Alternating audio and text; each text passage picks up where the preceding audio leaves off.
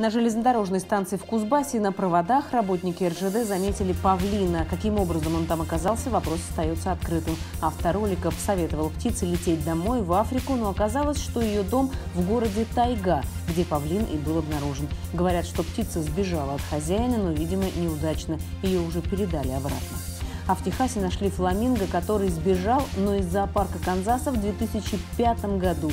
Ловить птицу не собираются, потому что фламинго явно больше нравится тусить с чайками, чем находиться за решеткой. Московская пенсионерка помогла роботу Яндекса перейти дорогу по пешеходному переходу кибердеревни без спецэффектов.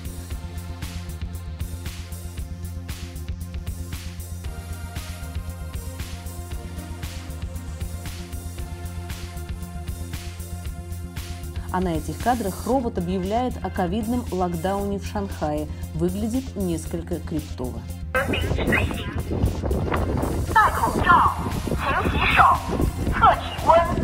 Женщина не обратила никакого внимания на огромную лавину, которая свалилась на нее с крыши.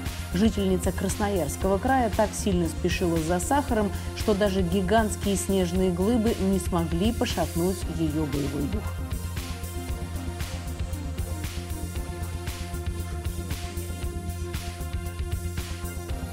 Эта дорога на видео уж очень притягивает аварии. Аномальное место обнаружено во Вьетнаме. Люди регулярно врезаются друг в друга. Иногда и техника начинает выходить из-под контроля. Вызывайте экзорциста.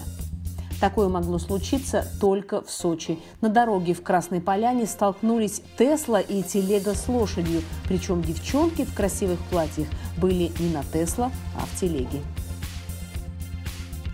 И еще кадры из мира электромобилей. В США пес угнал чью-то Теслу. Поражает даже не то, что собака куда-то поехала, а что ей задавали вопросы, ожидая ответы.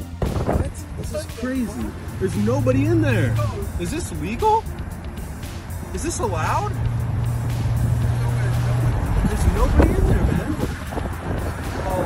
Where are you going? Are you going to the vet? В Монтане сова заслонила камеру видеонаблюдения банка.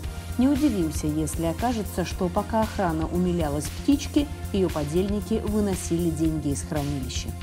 Полярные сияния радовали накануне жителей северных регионов России, США, Канады, Новой Зеландии и Тасмании после того, как произошла крупнейшая вспышка на Солнце а в южных регионах свои природные явления. Пользователи публикуют в соцсетях видео и фото сильной, но очень красивой грозы в Воронеже.